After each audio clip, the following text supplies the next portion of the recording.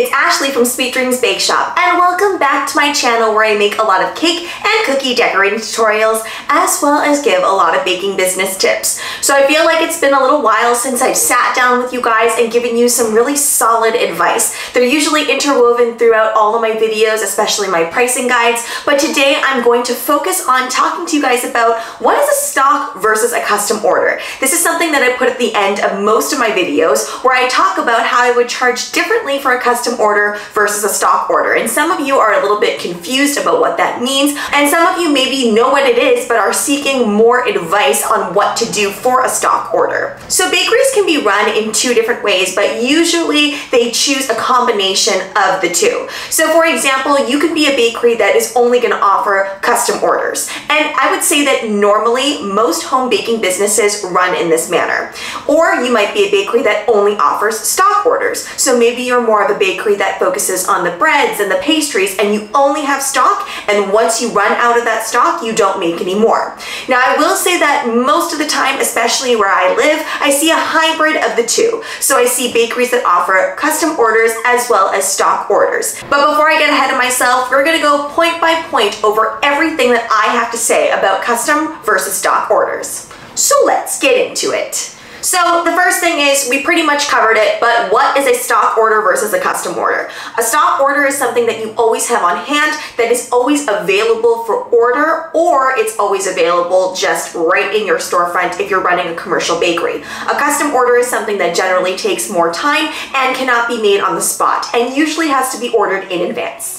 So as I previously mentioned, there are different ways to facilitate stock ordering. For example, if you're running a storefront, you're pretty much just going to have your cupcakes or your pastries or whatever it is that you normally have out in the open and people come and purchase that from you. But for somebody that's a home baker, obviously you don't have a storefront, so you're not making stock orders daily. So the other way that you actually facilitate a stock order is to just have it available for order at all times throughout the year. But you might be wondering, well, how does this differ from a custom order? Well, the stock order has very specific things in place. So let's say, for example, that I offer a chocolate drip cake as a stock order. Well, every single time that a customer orders it, it looks just like that that. You don't get to customize the chocolates. You don't get to customize what that drip looks like. It always looks something like that.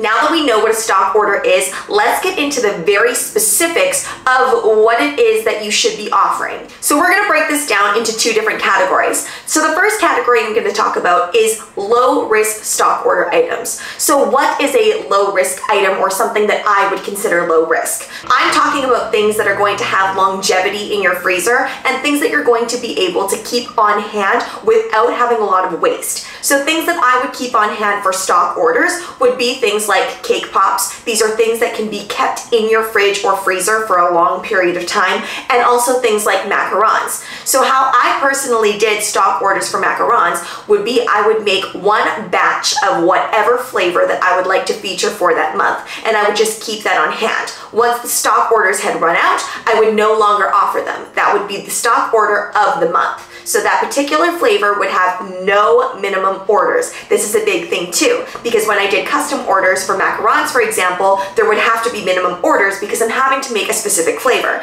But this flavor has already been predetermined by myself and it's already there and it's already available. So there's no need to implement any minimums because it's not like I had to make it for something specific.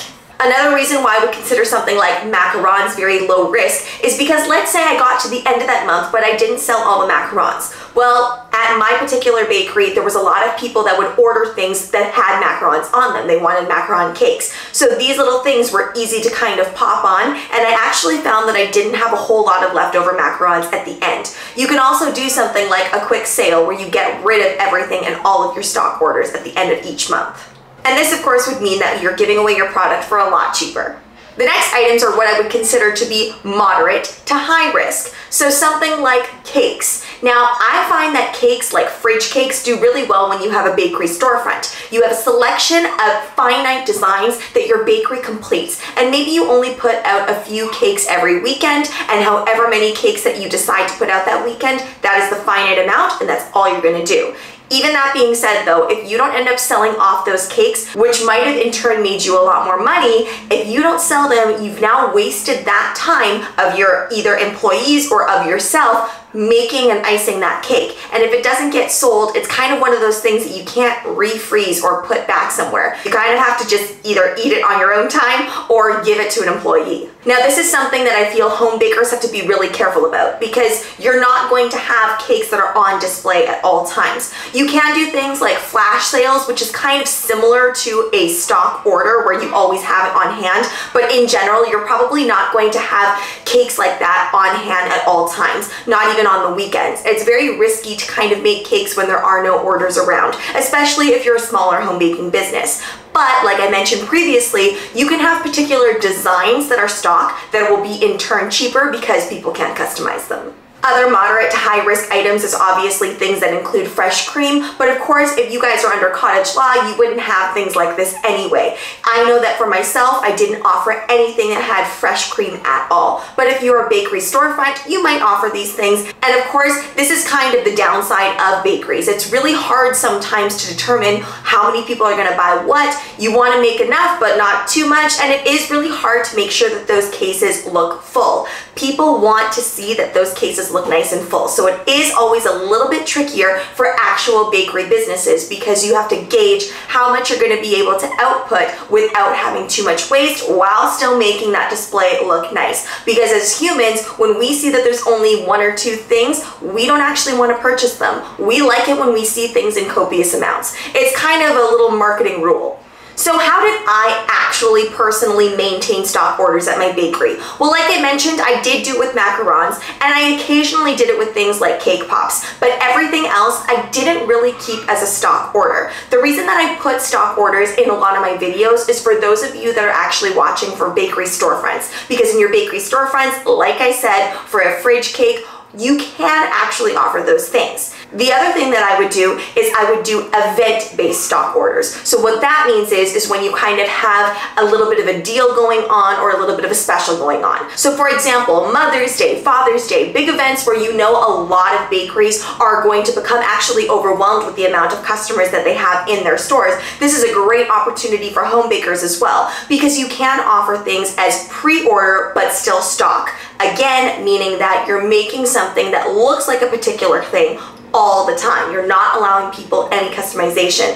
Therefore, that brings me to my next point. You're going to price your stock orders cheaper. Here's where we get into that high risk versus moderate versus low risk. The thing with doing things like specials on Father's Day or Mother's Day, let's take cookies for example. If you want to be quirky and fun and you want something that somebody else isn't doing, this is a great idea and can sometimes pay off super, super well. However, sometimes it can actually backfire and you've missed the mark completely on what it is that your clientele is looking for. So sometimes this can flip-flop between being high risk and low risk. There really is no way to have it nailed every single time. So there's two things that you want to do in order to kind of make a safe space for yourself. One is you want to make sure that you're pricing effectively, and two, you want to make sure that you're choosing items, again, that are not going to put you in the hole. For example, if you're having to go out and purchase very, very specific baskets or very, very specific decorating items that you know can only really be used for this order and maybe one or two other orders that you can think of,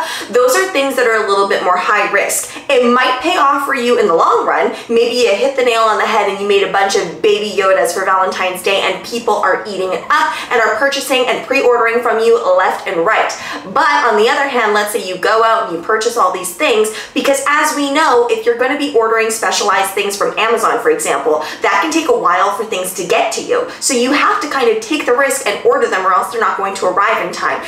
And you can't wait for people to just order from you. You have to kind of just take a risk. And so in that instance, you might lose out a little bit more. Now, what I mean by pricing effectively, and this is a little bit tricky when it comes to stock orders, especially when you're doing kind of pre-order stock orders, you have to make sure that that price is attractive enough so that people want to purchase it, but what you're offering is special enough. Now, I'm not going to get into the logistics of how to price things because I feel like on all of my videos, whenever I talk about stock versus custom orders, I try to really give you guys a good look at what the difference is between stock and custom orders. Now, in terms of bakery storefronts, I find that it's a little bit easier sometimes when it comes to things like pre-orders because you're able to pump out a lot more because you actually have staff that are helping you. The other thing is a lot of the locals, especially if you're well established, will understand, oh, it's gonna get really busy in here on Valentine's Day, Father's Day, Mother's Day, whatever it is. So selling those pre-orders so that people can skip the line is very enticing for a lot of people.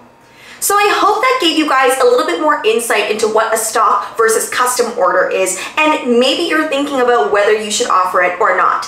At the end of the day, it's completely your choice. But my final insights from it are that really stock orders are a great thing to have, especially when you want to keep busy and you want to keep the flow of your bakery going. But honestly, the bulk of my income was made from custom orders.